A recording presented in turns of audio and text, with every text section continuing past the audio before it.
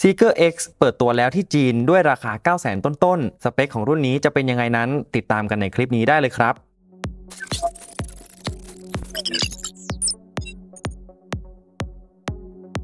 รถยนต์ Zeekr เป็นอีกหนึ่งยี่ห้อที่อยู่ภายใต้บริษัท Geely Auto จากประเทศจีน ซึ่งรุ่นแรกที่ Zeekr ได้เปิดตัวไปแล้วก็คือ Zeekr 001 ที่เป็นดีไซน์รถแบบ shooting brake หรือรถสไตล์ wagon 5 ประตูนั่นเองครับ เมื่อวันที่ 8 มิถุนายนที่ผ่านมา Zeekr ก็ได้เปิดตัวรถอีกรุ่น นั่นก็คือซีเกอร์ X และคาดว่าจะส่งมอบรถได้ในกลางเดือนมิถุนายนนี้เลย Zeekr X เป็นรถประเภท SUV ไฟฟ้าสไตล์สปอร์ต เปิดราคาเริ่มต้นที่ประมาณ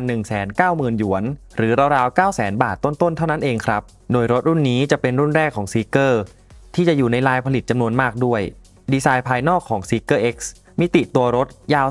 4,450 มิลิเมตร กว้าง 1,836 มิลิเมตร และสูง 1,572 มิลิเมตร ระยะฐานล้ออยู่ที่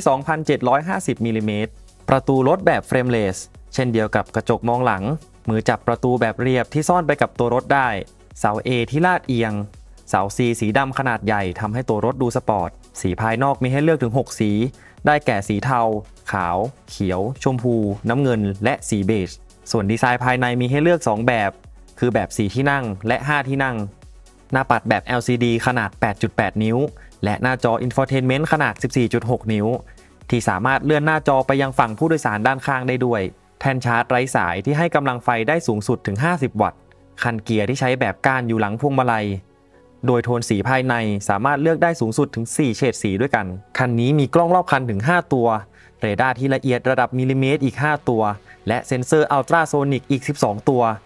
พร้อมระบบช่วยเหลือการขับขี่อัจฉริยะ ที่ใช้ชื่อว่า Zeekr Autonomous Driving หรือ ZAD นั่นเองครับ มีให้เลือกมอเตอร์ไฟฟ้า 2 แบบ แบบแรกจะเป็นมอเตอร์ไฟฟ้าตัวเดียวที่ด้านหลัง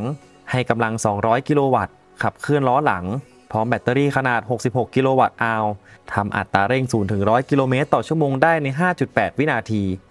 ระยะทางที่วิ่งได้จะอยู่ที่ 560 กิโลเมตร ตามมาตรฐาน CLTC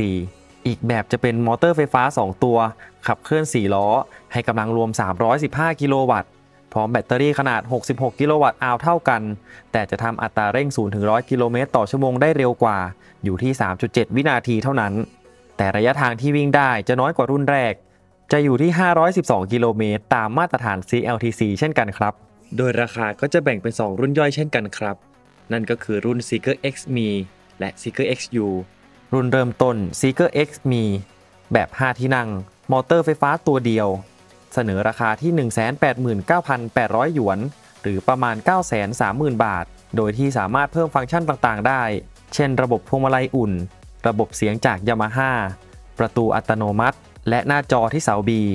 แล้วราคาที่รวมออปชันทั้งหมดนี้ก็จะไปอยู่ที่ 1 4 0 0 0 0 บาทครับ อีกรุ่นก็คือ Seeker XU จะมาพร้อม 4 ที่นั่ง ราคาเริ่มต้นที่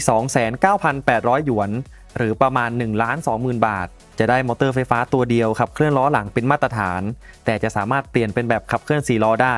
โดยเพิ่มเงินอีก 1 0 0 0 0 0 บาท และถ้าเพิ่มฟังก์ชันอื่นๆ ที่กล่าวไปก่อนหน้านี้นั้น ราคาของรุ่น U ก็จะไปจบอยู่ที่1ล้าน2แสนบาทครับ ตอนนี้ทางจีลี่ที่เป็นต้นสังกัด ได้วางแผนจะเข้ามาทำตลาดในไทยแล้ว แต่จะนำเจ้า Seeker X เข้ามาทำตลาดรถ EV ในประเทศไทยด้วยหรือไม่ ก็ต้องมารุ้นไปด้วยกันนะครับ เป็นยังไงกันบ้างครับสำหรับข่าว EV ที่เราได้นำมาเสนอในวันนี้ ถ้าชอบก็ฝากกดไลค์กดแชร์ และฝากกดติดตามช่อง iMod Official เพื่อเป็นกำลังใจให้ทีมงานด้วยนะครับ วันนี้ผมเน็ตไอมดขอตัวลาไปก่อน ขอบคุณและสวัสดีครับ